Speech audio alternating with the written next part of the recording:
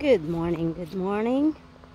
So today is Indigenous Peoples Day here in Maine and other cities in the United States. So we're gonna celebrate it. And also as a farmer I have learned from farmers here in Maine that the perfect time to plant garlic is on the indigenous peoples day. So we are here on the in the field and we're ready to plant garlic. So we have prepared the beds. This is the compost. So we have four four beds ready. One two three four and then one more bed to be to be prepared today. And then in the afternoon we will plant garlic. So let's go and honey come. Let's go get the garlic. Wow Eric is preparing the blast bed. I will have to get ready with the bulbs that he, we will be planting later on this day. So foliage is so nice. The leaves of the trees are turning changing their colors. There we go Oh, happy Indigenous Peoples Day to all the Indigenous people like me. And I hope everyone's safe and let us all keep healthy as much as we can.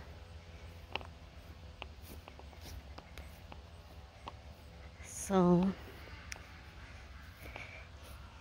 as I do my garlic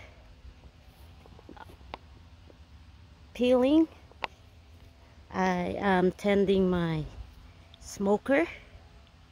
So I have on my smoker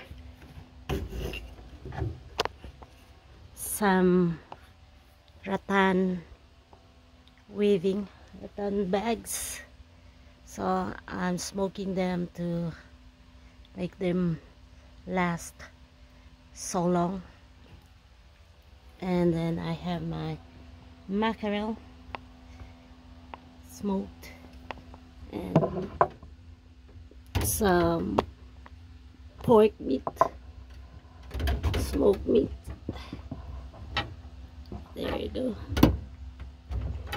So this is the bounty of the nature given to us free so we have to love and enjoy it. Okay.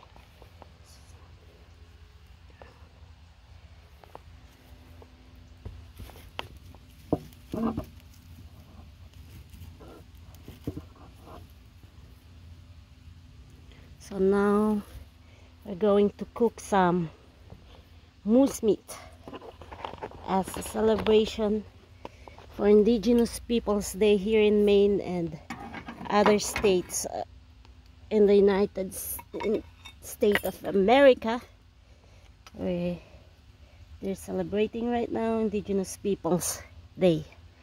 So we're going to cook some moose meat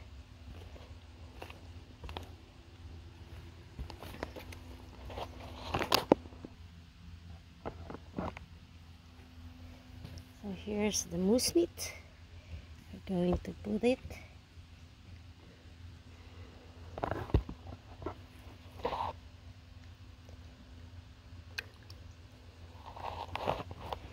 And this will be our food for today.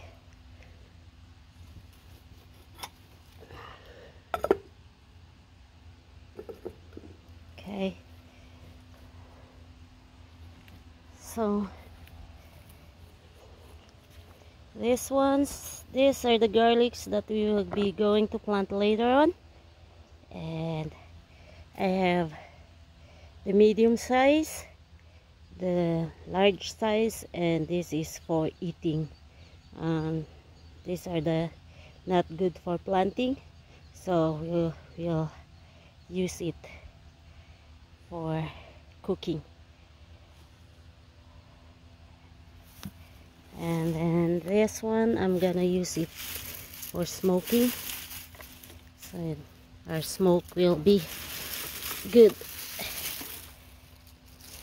And I'll have my coffee while doing my garlic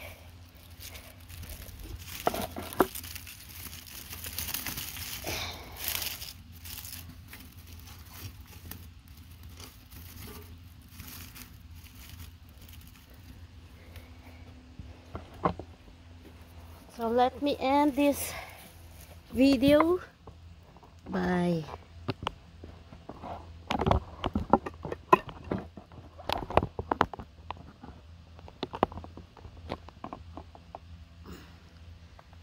let me end this video by um, playing the traditional Kalinga nose flute, tungali, and the pechong the mouth flute. So this is the nose flute. There you go. That's the one that be played on the nose. And then the mouth flute. So that's the difference. So if you can see the difference of the holes. There you go. So that's the this is the nose flute and this is the mouth flute so I'm going to play it as a universal prayer for us to have a safe and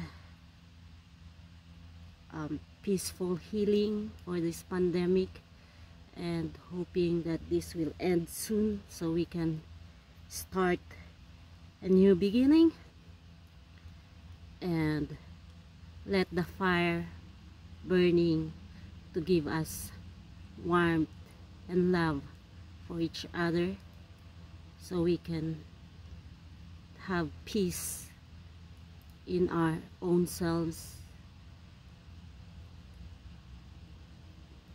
physically mentally spiritually and so we can radiate it and share it to others. So here it goes